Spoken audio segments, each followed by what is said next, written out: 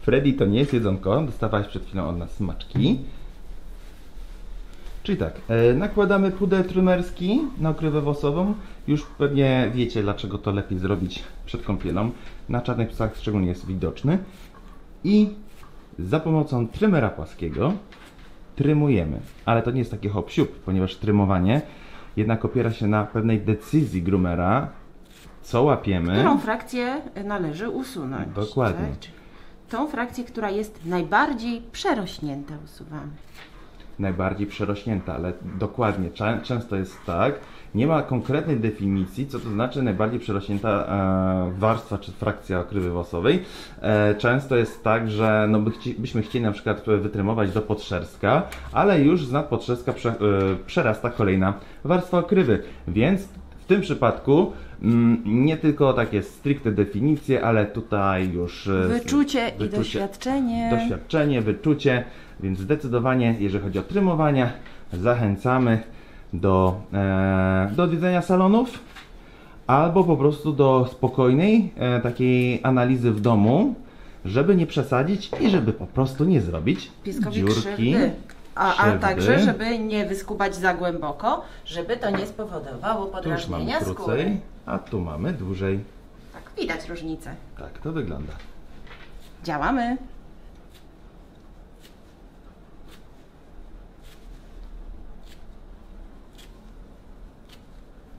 Więc y, to jeszcze nie jest efekt finalny, natomiast y, główna część pracy już została zrobiona. Też te miejsca strategiczne już zostały podgolone, jak na przykład uda, pieska.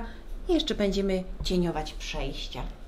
Czyli tak, główne trymowanie zostało wykonane przed kąpielą.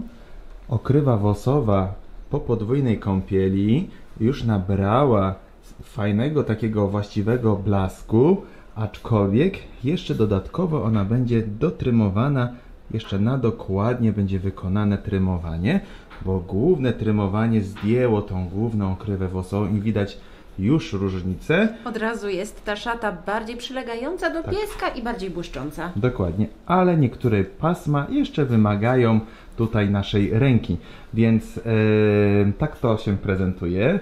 Tak Fredulek wygląda. No, może jeszcze nie wygląda e, tak fenomenalnie jak za godzinkę, ale już na pewno jest czysty. Dokładnie. Jeszcze troszkę pracy przed nami. Do zobaczenia. Oj, zaziewało się maleństwo. Tak więc działamy. Jeszcze pokażemy nóżki. Nogi zostały e, rozczesane. Na całe szczęście nie było kołtunów, bo okrywa włosowa jest szorstka. Nie kołtuni się tak mocno jak inne typy sierści.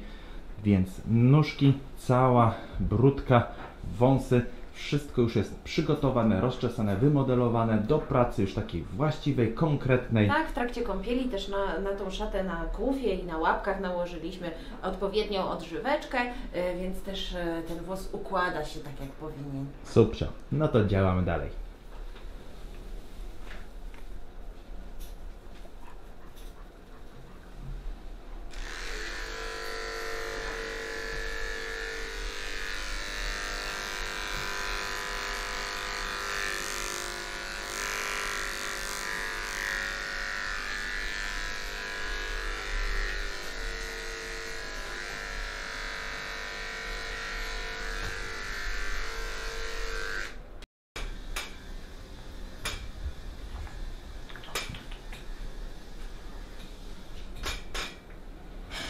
No więc tak, y, nasz przyjaciel cały czas się zmienia, metamorfoza postępuje. Mm, Zobaczymy, co, co dzieje się na froncie. Tak więc zobaczcie. Mamy już wystylizowane brewki. Uszka zostały podgolone, wyrównane nożyczkami. Podgardle oraz wszelkie fajne przejścia już zostały wyprowadzone. Nóżki nabierają charakteru. Wyrównane, podcięte. Wyrównana firaneczka. No i zobaczcie. Włos okrywowy na tłowiu. Wytrymowany dokładnie. Piękny, lśniący. Zdrowy I właśnie tak to się prezentuje. Małgosiu, chciałabyś coś dodać od siebie? Działamy. Nasz model jest super grzeczny.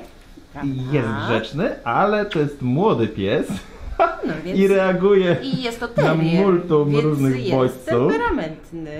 Tak, E. Ważna informacja, że Freduś jest stylizowany, jest to stylizacja nawiązująca do wzorca FCI, prawda? Skomercjalizowana na życzenia klientów, czyli między innymi zrobiony większy porządek przy oczkach, e, tak, czy nóżki odrobinkę krócej, nie są to Czy takie mega podrównana długie. brudka i Tak, wąsy. czy delikatnie podrównana brudka, e, żeby to było e, troszkę bardziej praktyczne. I powiem z doświadczenia, że większość klientów tak właśnie sobie życzy stylizować pieski, żeby było wygodnie, estetycznie, ale i zdrowo i wzorcowo jednocześnie. Dokładnie, więc y, namawiamy do um, stylizacji takich po prostu wygodnych dla Was i oczywiście dla Waszych psów. E, stylizacje mogą, choć nie muszą nawiązywać do wzorca.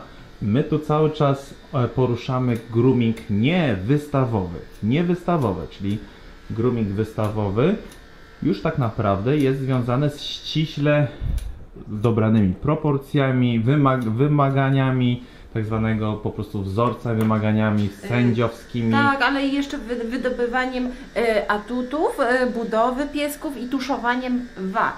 Dokładnie. Tak, więc to są wtedy takie bardzo szczegółowe elementy, bardzo dokładne.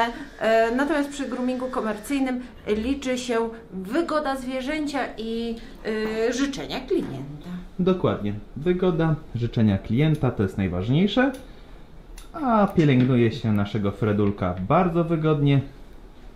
Mamy już czas 2 godzinki 20 minut. I coś mi się wydaje, że Fredusiak zrobi się troszeczkę nawet szybciej się zrobi.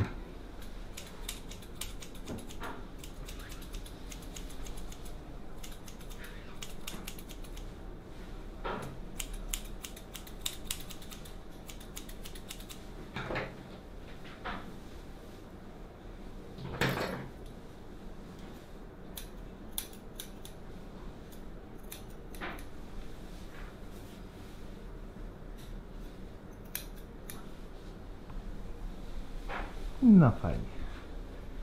Już działamy. Bardzo ładnie, Freddy. Jesteś bardzo dzielny, bardzo mądry. Wiem, że już nie, niecierpliwisz się, już wiem, że chcesz się bawić zabaweczkami. Dostaniesz nagrodę za momencik.